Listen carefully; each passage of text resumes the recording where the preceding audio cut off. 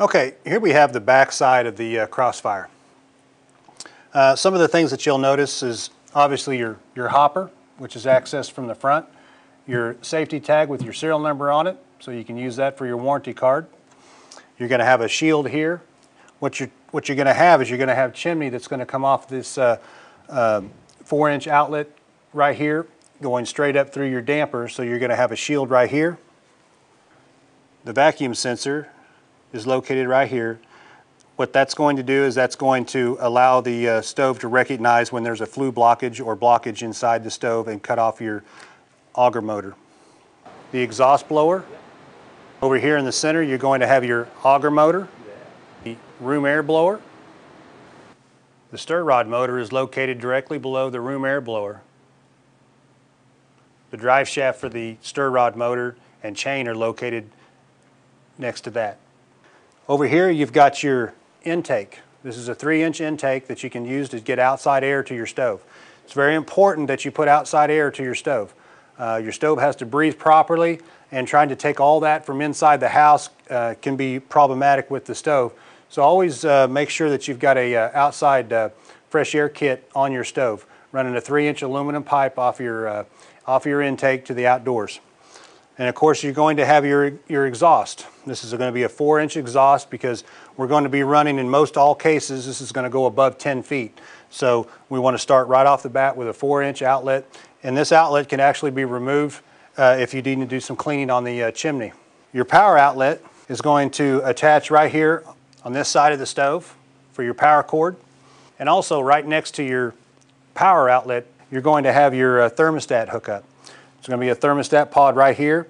Also, your fuse pod is located right below your power cord. So the way the stove is shipped to you, it's going to have a loop on it if you're not using a thermostat.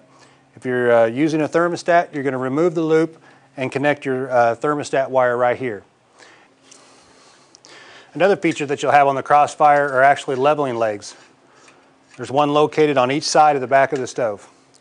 Actually, the leveling legs are a bolt they thread right into the base of the uh, stove, the insert, and you're going to uh, thread those down if need be to uh, level the stove out.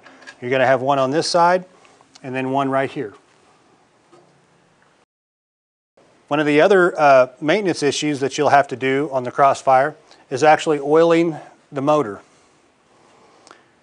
The only motor on the Crossfire that needs to be oiled periodically is your room air blower.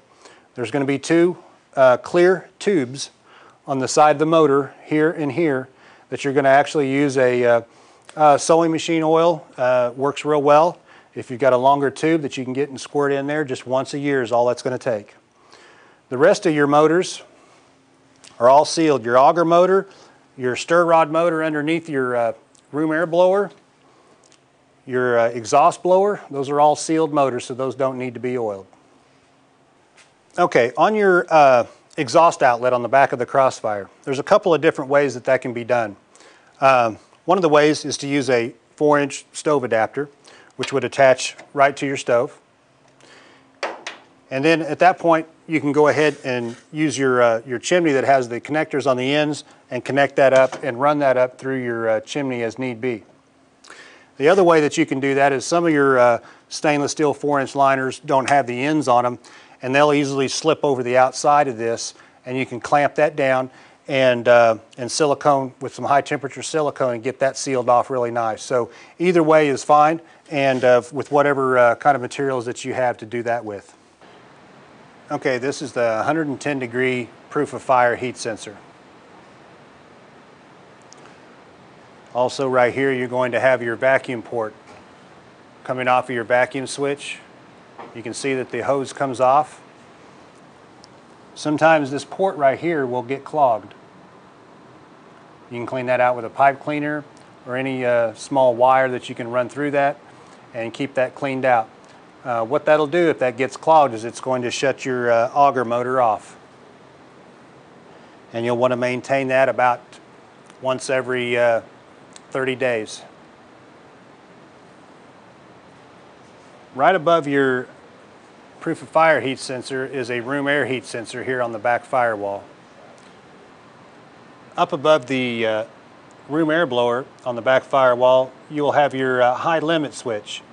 What this switch uh, purpose is, is to shut the unit down in case of an overheating situation.